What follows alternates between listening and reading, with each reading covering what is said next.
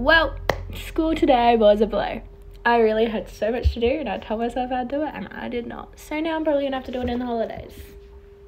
Am I gonna do it then? No.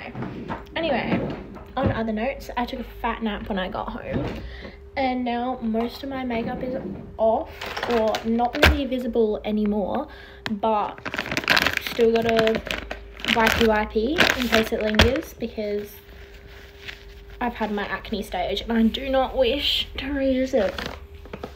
Literally all my teachers commented today on me today. They were like, what's different about you? Like you look so good today.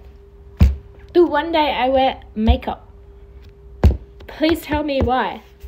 It was such a backhanded compliment.